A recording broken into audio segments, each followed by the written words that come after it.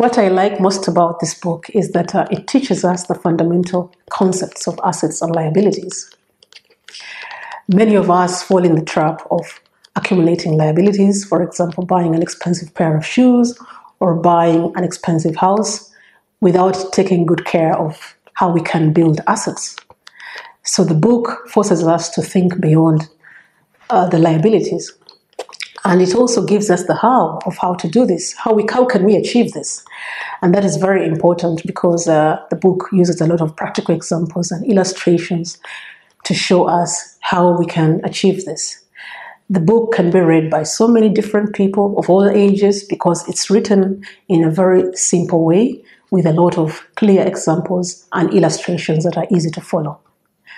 That is why I would recommend this book as a must read for everybody because it gives us the power to be financially independent.